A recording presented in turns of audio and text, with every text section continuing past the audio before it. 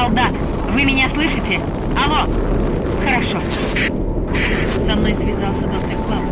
Он ищет способ остановить нашествие. Он пытается расшифровать табличку, но не может подобрать ключ к шифру. Этот ключ есть на образце, который мы нашли некоторое время назад. Но только сейчас поняли, зачем он нужен. Ваша задача — забрать образец из хранилища артефактов и отнести его доктору Клауду в лабораториях Эребус. Без ключа мы не поймем, что делать.